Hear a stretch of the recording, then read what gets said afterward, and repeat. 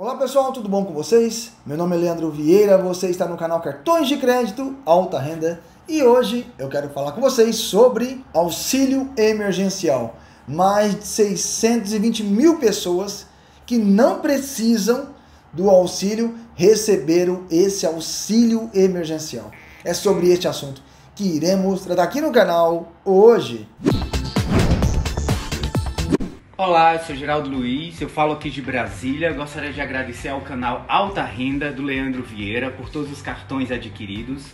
Eu gostaria de deixar um abraço para o Leandro Vieira e para o seu canal. Quem assistiu o Fantástico ontem, domingo, se deparou com uma situação aí complicadíssima, né? Em saber que mais de 620 mil pessoas, segundo o TCU, né, receberam auxílio emergencial de forma irregular. Né? São pessoas de altíssima renda, empresários, fazendeiros, milionários que receberam então o auxílio emergencial de forma assim que a gente assustadora, né? Uma porque como que essas pessoas conseguiram resgatar 600 reais do auxílio, sendo que o sistema da Caixa e de seus parceiros coligados deveriam impedir que essas pessoas tivessem acesso ao auxílio emergencial. Pessoas falecidas receberam o auxílio emergencial também. É uma covardia, podemos dizer assim, né? Presos na cadeia, né? Recebendo auxílio, mortos recebendo auxílio, né? E a pessoa vai lá e resgata dessa pessoa falecida, né? A gente vê pessoas milionárias recebendo o auxílio e outros mais que não precisam do auxílio estavam recebendo o auxílio. Vamos à nota do TCU então. TCU aponta que 620 mil pessoas receberam o auxílio emergencial sem ter direito.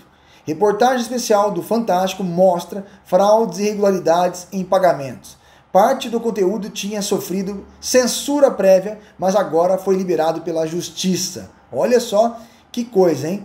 Dados obtidos com exclusividade do primeiro relatório do Tribunal de Contas da União sobre o pagamento do auxílio emergencial da pandemia revela 620 mil pessoas receberam a ajuda financeira do governo sem ter direito. O relatório do TCU também traz um alerta, e se esses pagamentos indevidos não forem interrompidos, eles podem gerar um prejuízo de mais de um bilhão aos cofres públicos. Parte desse conteúdo tinha sofrido censura prévia e sua exibição estava suspensa, mas na noite dessa sexta-feira, 26, a RBS, afiliada da Globo no Rio Grande do Sul, ganhou na justiça o direito de exibir a reportagem na íntegra.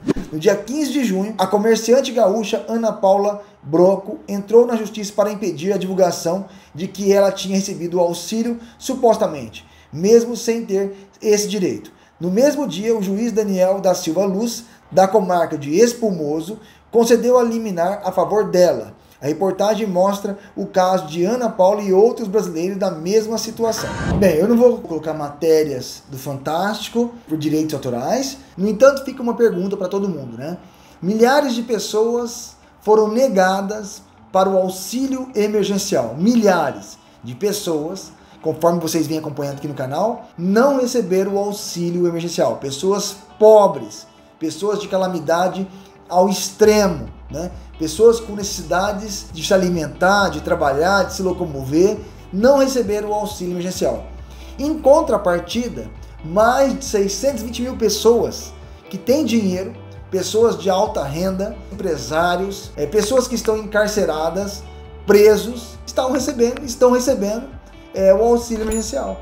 Enquanto isso, essas pessoas de classe baixa, de classe média baixa, de classe média pobre, vamos dizer assim, né? Não recebe o auxílio.